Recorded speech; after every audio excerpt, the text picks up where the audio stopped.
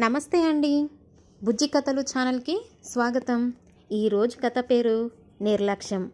అంటే ఈ నీతిలో ఆలస్యం అమృతం విషం ఈ మూడిటికి అర్థమేంటో నిర్లక్ష్యం అనే ఈ కథలో మనం విందాం. అయితే స్కిప్ చేయకుండా పూర్తిగా వినండి. ఇప్పుడైతే కథలోకి వెళ్దాం. నచ్చితే గనక ఒక లైక్ చేయండి. సమయం ఎంతో విలువైనది. ఏ సమయంలో చేయవలసిన పని అదే సమయంలో చేయాలి. లేకుంటే అదృష్టం చేజారవచ్చు. అనిత ఏడో తరగతి చదువుతుంది. తెలివైన అమ్మాయి. చక్కగా చదువుతుంది. చక్కగా పాడుతుంది కూడా. కానీ ఆమెకు కొంచెం నిర్లక్ష్యం. బద్ధకం ఎక్కువగా ఉంటుంది. ప్రతి పని వాయిదా వేస్తూ ఉంటుంది. అలా చెయ్యవద్దు అని వాళ్ళమ్మ ఎన్నోసార్లు అనితకు హెచ్చరించింది.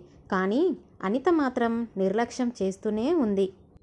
ఒకసారి ఆ ఊర్లో సాంస్కృతిక కార్యక్రమాలు జరిగాయి. అన్ని స్కూళ్ళ విద్యార్థులకు పాటలు ఆటలు పోటీలు పెట్టారు. అనిత పాటల పోటీలో పాల్గొంది. అందులో ఆమెకు మొదటి బహుమతి వచ్చింది. కొన్ని రోజుల తర్వాత ఒకరోజు సాంస్కృతిక కార్యక్రమాల్లో నిర్వహించిన సంస్థ నుండి అనితకు ఒక ఉత్తరం వచ్చింది. గత నెలలో జరిగిన పాఠాల పోటీల్లో మొదటి బహుమతి వచ్చినందుకు మర్నాడు తమ కార్యాలయానికి వచ్చి బహుమతి తీసుకోవాల్సిందిగా రాశారు. ఆ ఉత్తరంలో అనిత ఆ ఉత్తరాన్ని పెద్దగా పట్టించుకోలేదు. తరువాత ఎప్పుడైనా వెళ్ళి బహుమతి తెచ్చుకోవచ్చులే అనుకొని మర్నాడు వెళ్ళకుండా నాలుగు రోజుల తర్వాత వెళ్ళింది. ఆ సంస్థ వారు బహుమతితో పాటు పట్టణంలో జరుగుతున్న పెద్ద సర్కస్ చూడ్డానికి రెండు టికెట్లు కూడా ఇచ్చారు. అయితే ఆ టికెట్ అంతకు ముందు రోజు జరిగిన ఆటవి. అనిత అవి చూసుకొని అయ్యో కనీసం నిన్న వచ్చినా బాగుండేది కదా అని బాధపడింది.